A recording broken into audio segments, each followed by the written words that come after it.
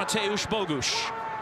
21-year-old Pole down that left side, swinging into the air. The header is on, and it's the equalizing goal. It's Maldonado.